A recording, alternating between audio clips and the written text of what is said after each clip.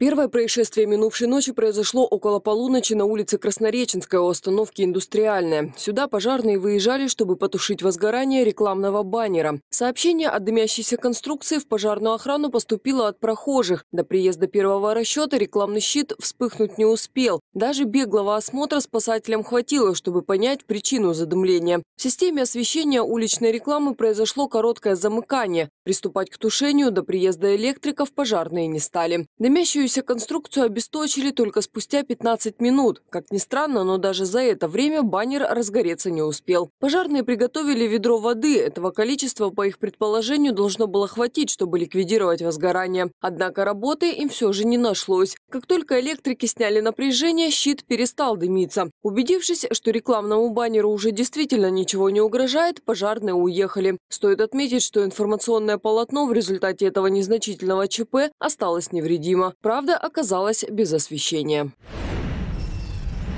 Примерно около часа ночи на улице Воронежской под колеса иномарки попал 31-летний пешеход. Для пострадавшего мужчины незамедлительно вызвали скорую помощь. Правда, уже через 10 минут стало понятно, что серьезных травм у пациента нет. А на ногах он не стоит скорее от количества выпитого, нежели от ранений. В больницу мужчину медики все же доставили с диагнозом сотрясения мозга. Как рассказала 29-летняя водитель Toyota Crown, человек на дорогу шагнул в неположенном месте. Эффект неожиданности своего появления молодой человек усилил как мог. Дорога в этом месте оборудована металлическим отбойником, который в свою очередь имеет небольшой разрыв. Автолюбителям он практически не виден. Именно этой брешью и воспользовался прохожий, чтобы перейти проезжую часть. Скорость у Toyota Crown была небольшой, по словам автолюбительницы, меньше, чем за минуту. До этого она свернула на Воронежскую с улицы Большой и толком разогнаться еще не успела.